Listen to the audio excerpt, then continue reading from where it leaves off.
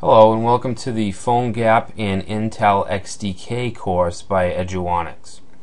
This course will be all about mobile web app development using web standards like HTML5, JavaScript, and CSS3. In Chapter 1, we'll basically discuss the mobile internet in general, uh, including what a web app is, what a native app is, and the difference. Uh, and of course, we'll talk about hybrid apps, which is basically what we'll be building. Um, the apps will appear as a native app, but will actually be written in HTML5, JavaScript, and CSS.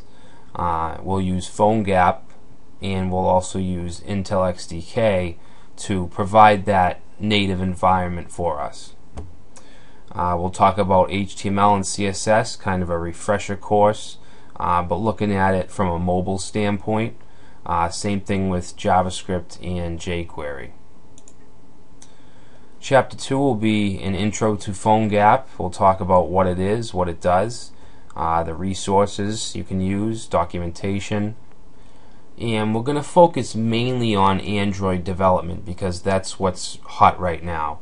Um, to to build and deploy an iOS app, which is an iPhone or an iPad app, uh, you need to actually pay a $99 fee uh, and you need a special code. So we'll be focusing on Android, but it really it really doesn't matter which platform we're aiming for because we can do it all using PhoneGap.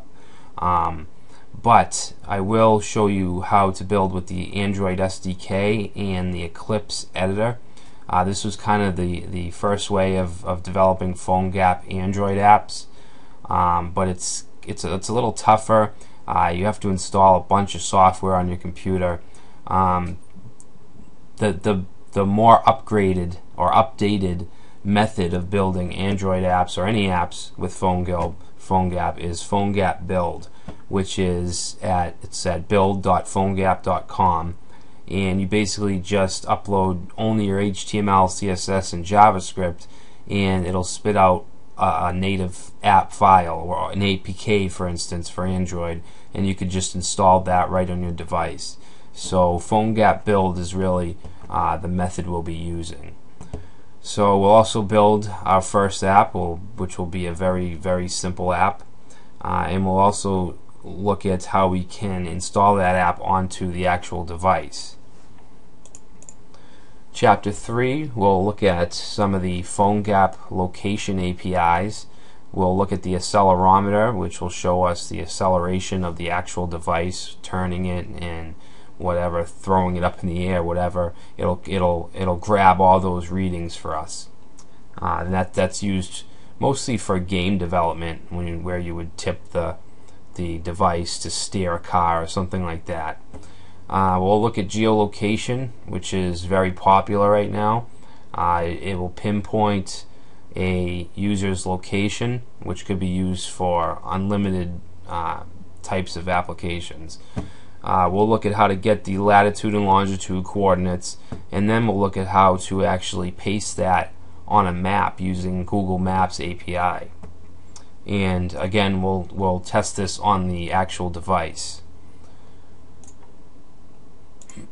Chapter 4 we'll look at camera, capture, and contacts which are three of the PhoneGap APIs. We can use the camera API to either take a picture and use it in our app or we can actually grab a picture that's already on the device and use that. Uh, with the capture API we can capture images, We'll also capture audio. Uh, and then we'll deal with contacts. We'll be able to add a contact to our device using our app. Chapter 5 will probably be the longest chapter of the series. Um, we're going to learn all about file and storage using PhoneGap. Uh, we'll see how we can type, we'll create an app where we type in the URL of a file and we can download it right to our phone's file structure or our device's file structure, we'll be able to create and write to a text file on the on the device.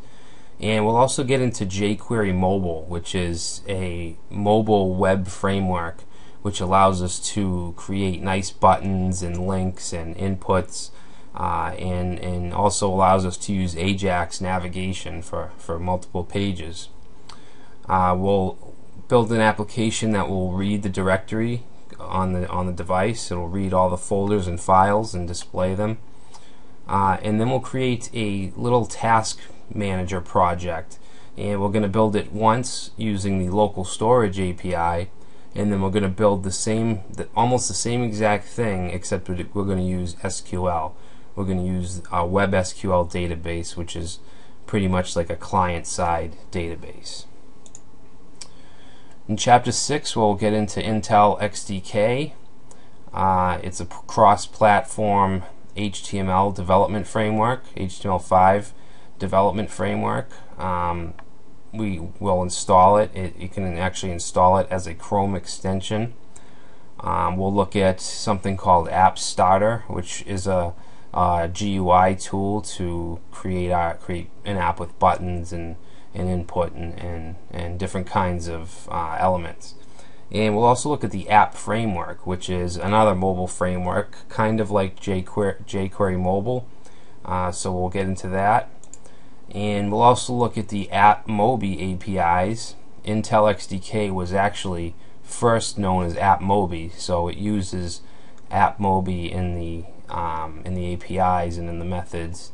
And we'll look at geolocation, camera, accelerometer, and contacts. Now we I know we looked at these in PhoneGap, but now we're going to look at and see what the difference is from Intel XDK to PhoneGap with these APIs. And we're going to build a single application that will do for all these these four operations and we'll deal with these four APIs. In chapter 8 we'll test our application or project and we'll use App Lab to do that. I'll show you how to um, go to the App Store and download App Lab and then set it up so we can actually test on your device. Next we'll look at some app debugging features that Intel offers us so we can actually open up a console uh, and it'll show all our console logs and errors. Uh, and then finally, we'll look at submitting apps to the app stores. Now, we're not going to actually do this process. We're not going to submit our app because it's, it's really just a learning tool um, but I will go through the documentation and show you the links and process of, of the of how to do that. So that will be it. That'll wrap up our course. There's a, a lot of information packed in here. Um, I'm really excited to get started and I hope you learn a lot from it.